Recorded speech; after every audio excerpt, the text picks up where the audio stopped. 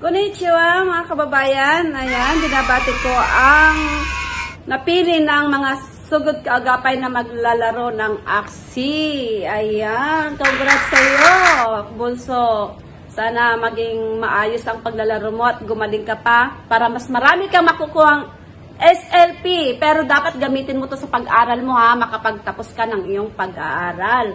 Kaya sa mga naghihintay pa, sana makapaghintay po kayo at darating din po tayo dyan na sana isa kayo sa maglalaro balang araw. Kaya medyo pahirap ko po kasi ngayon ang paglalaro ng Axie, lalo na daw sa arena.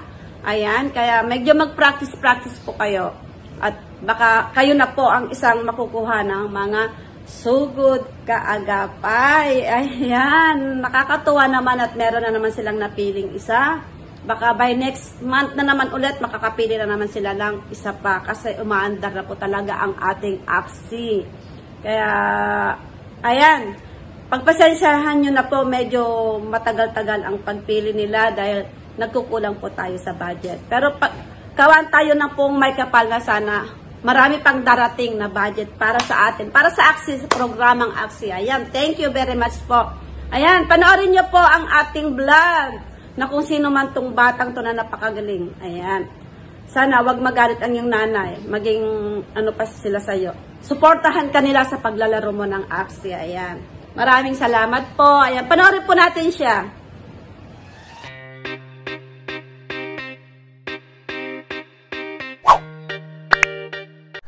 Magandang araw po sa inyong lahat. Ayan po, andito po tayo ngayon kung saan ah, meron po tayong tutulungan. Ayan, tutulungan po natin siya. Isa po siya sa mga ah, naghintay ng pa-scholar ni Ma'am Marisa sa kanyang AXI Scholarship Program.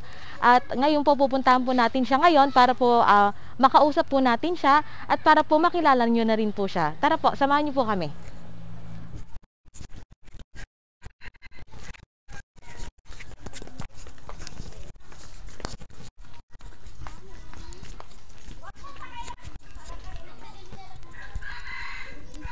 Morning po.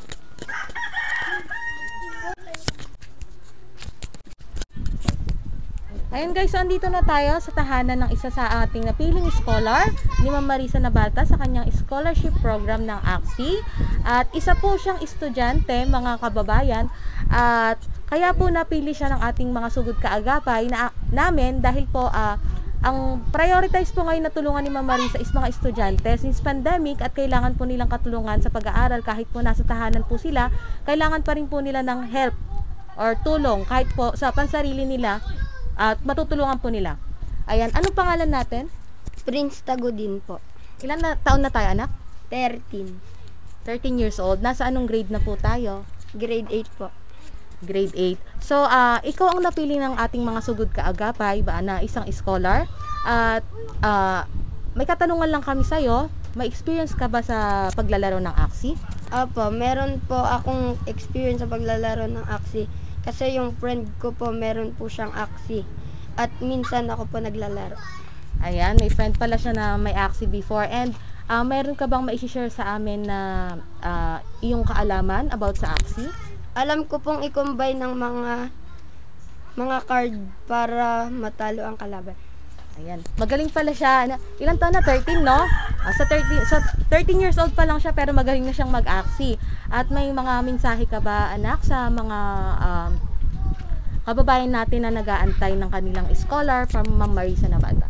Ang mapapayo ko lang po, maghintay lang po sila dahil katulad ko baka isa din sila sa mapipili.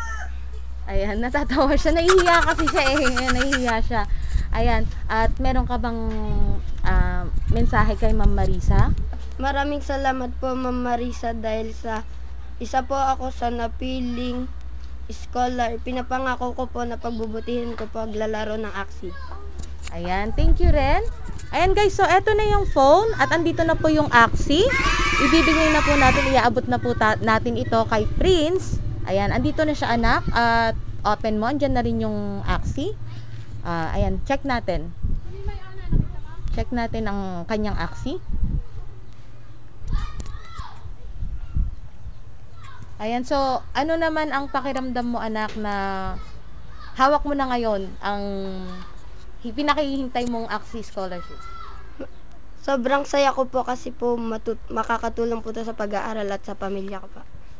Ayan, dahil yun naman talaga ang gusto ni Ma'am Marisa na makatulong sa inyo at sa pamilya mo, kahit na bata ka, at least yung mindset mo, ah, pagtulong sa family mo. At yun talaga ang prioritize ni Ma'am Marisa, yung mga ganyang mindset. Ayan guys, so eto na yung Axie. Ayan. Ayan na siya, pwedeng pwede niya na tong laruin guys.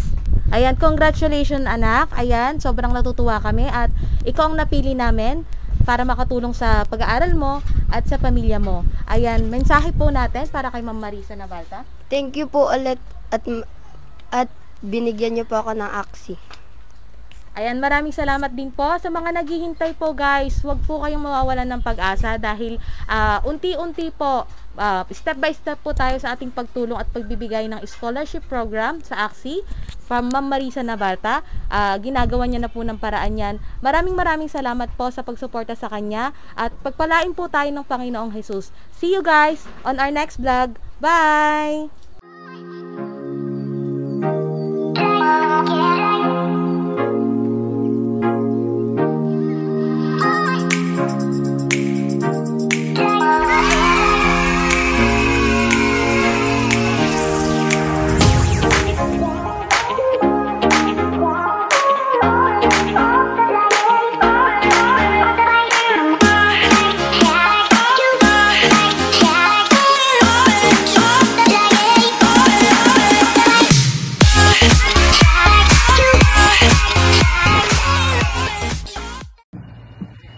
Po. Maraming salamat po, Madam Marisa Nabalta, sa premyo pong binigay niyo po sa amin. Ingat po and God bless po. Hello po, Ma'am Marisa Nabalta. Natanggap ko na po yung 1K. God bless po. Thank you po, Mas Marisa Mabgalta. Hello po, Madam Marisa Nabalta. Maraming salamat po sa prize. Receive na po namin. Asawa po ako ni Hener Bautista. Ako po si Merly Tolentino. Maraming salamat po sa prize. Thank you. Maraming salamat din po sa sugod kaagapay na masisipag. Magandang araw po. Ako po si Edgel Domingo Ariola. Maraming salamat po dahil natanggap ko na po yung premyo sa parapol nyo. God bless at sana po marami pa po kayong taong matulungan. Hey,